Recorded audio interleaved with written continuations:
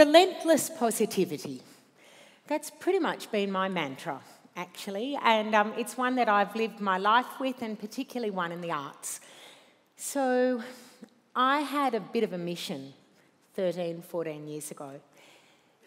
The children that I knew and loved from regional Australia were starting to see music as a passive activity. You just watch someone else do it on telly, or you watch someone else do it on YouTube. So, if you combine that with a mindset that music literacy is just too hard, it's a skill set that is not even needed anymore, it's for the elite few, then you have a mindset that is just completely one of scarcity.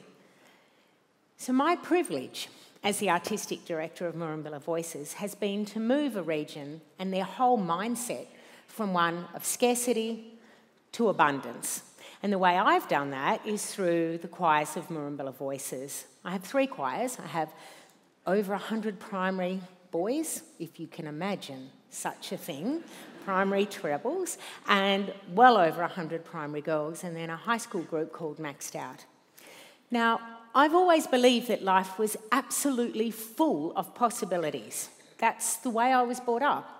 And I must have uh, missed the, uh, the KPIs that said you grew up in rural Australia and you couldn't be a female conductor.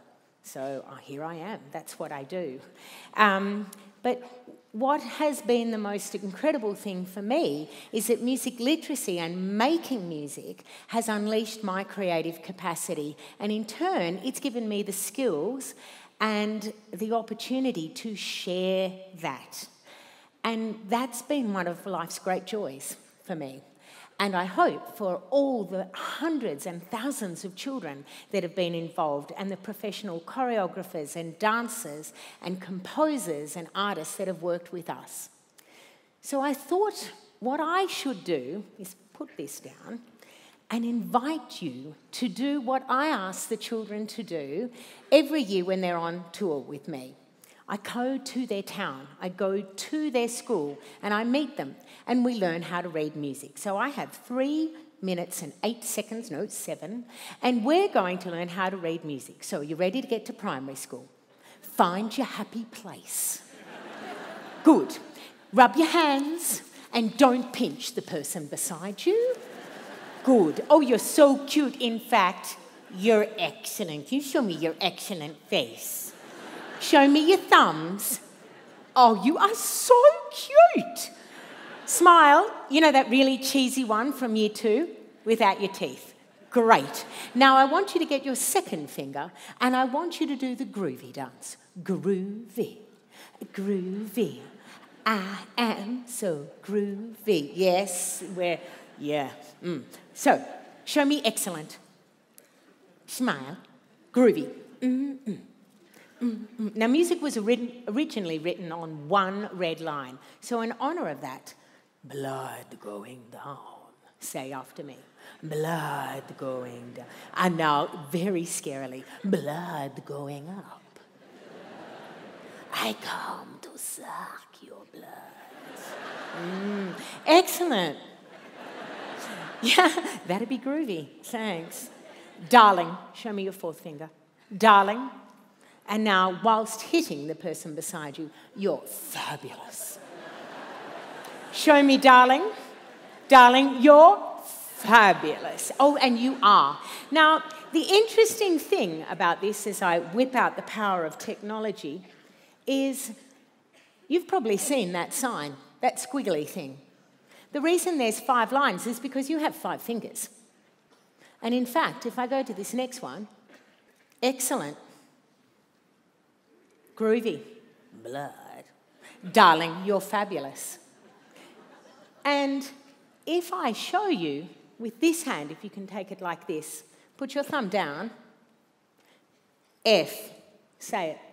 F, A, A, C, C, E. F, A, C, E. In this space, you find your face.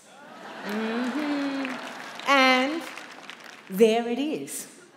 Now, this didn't take a long time. Music literacy is not a burden. It is not that it is too hard.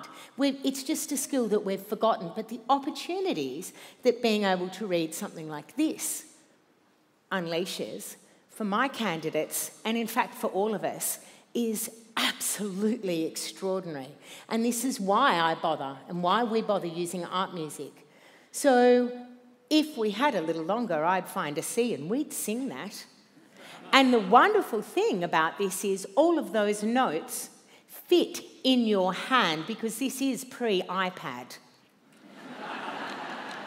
and it is portable, it's environmentally friendly, and it's yours. So, um, as you give yourself a round of applause for your music literacy, I'd like to introduce you to the choirs of Moorambilla Voices. In fact, there's 60 children that are about to come on stage now from regional New South Wales. As my beautiful children come on stage, I'd, um, oh, they are just so gorgeous. They represent the most remote and regional third of New South Wales. They met together yesterday for our first rehearsal. Um, what I'd like to do is take this opportunity to acknowledge um, the incredible support that I have been given from all of the communities I work in, the incredible volunteers, the, um, the extraordinary Auntie Brenda, who has mentored me through all of the cultural nuances over the last 14 years, Melissa Kirby from Brewarrina, who has, with human kindness, shared a language that was shared to her so that we can share this with you. We're going to sing about the oldest man made structure in the world. Yes, you did hear that correctly. That's the Brewarrina fish traps. And the Brewarrina fish traps are the most perfect manifestation of how to live your life not take more than you need, to sing, to dance, to live a life of possibility and abundance. The music that we're going to sing has been commissioned by Moorambilla Voices by a wonderful Australian female composer called Josephine Gibson. We will be accompanied by extraordinary musicians. The artwork that you're going to see are photos from our region by Noni Carroll, and the movement that the children will do has been created by Jacob Williams. Thank you very much for having us.